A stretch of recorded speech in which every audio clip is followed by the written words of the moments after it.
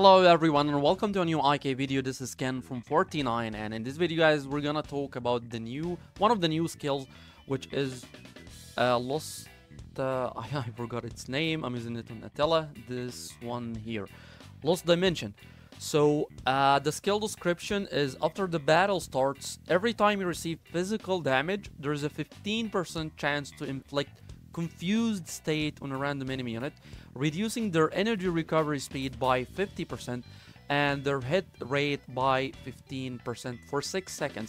Now the chance is not that bad because you always gonna receive physical damage from the very beginning of the fight until the very end. Even if it's a mage that, get, that can apply normal attacks on you, the normal attack is gonna apply physical damage. So you're always going to receive physical damage. So the 15% chance is not that bad and I will show you in a minute.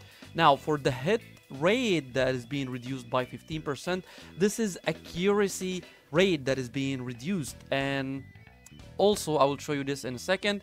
Recovery speed decrease, this is kind of uh, clear but the confused state this is the got what got me confused about this skill it's not the confused the usual confused that Loki applies or the shadow immortal the, the support shadow immortal applies. It is the the confused state here. What means is that the buffs that is being applied to the enemy which is just the energy recovery decrease and the accuracy decrease. And i'll show you in the training camp right here. So this is the setup that I'm using. I'm using Ragnar, I'm using Lost Dimension him, and I'm only using Physical Shield and Fighting Master because I want him to sustain in the fight. I think I have, uh, yeah. I just want my Ragnar to sustain on the fight to keep applying the debuffs from Lost Dimension. And of course, on the other side, I'm only using Yushi and Alex.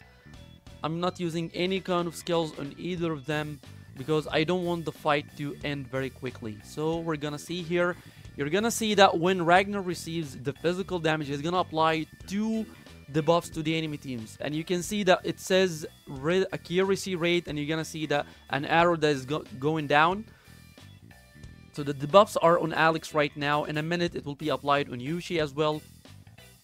No, this is the ultimate skill, that the debuff that comes from the ultimate skill accuracy rate. You see the accuracy rate word that is written in red font and you can see that the two debuffs that is being applied to either Yushi or Alex these are the only two debuffs that is being applied and you can see that the debuffs are being applied yet they're not damaging each other so this is not the confused state that is being applied by Loki or Tomyris in the Shadow March.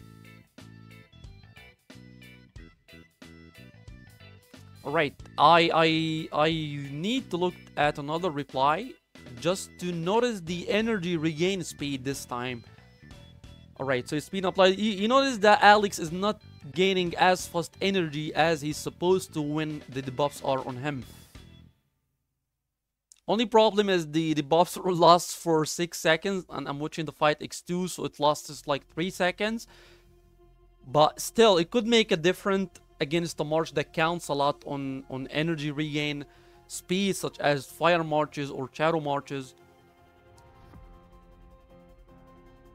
And reducing the accuracy rate by 15% could help a lot if you're using a skill such as misleading combined with maybe a skill such as uh, after image as well. This is gonna be a very good combo to use with this skill which is lost dimension. So this is how the skill works. It only reduces the energy regain speed by 50% and also it reduces the accuracy rate by 15% for 6 seconds.